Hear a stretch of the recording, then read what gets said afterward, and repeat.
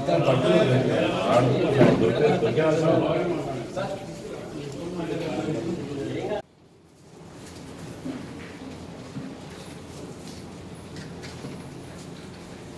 you.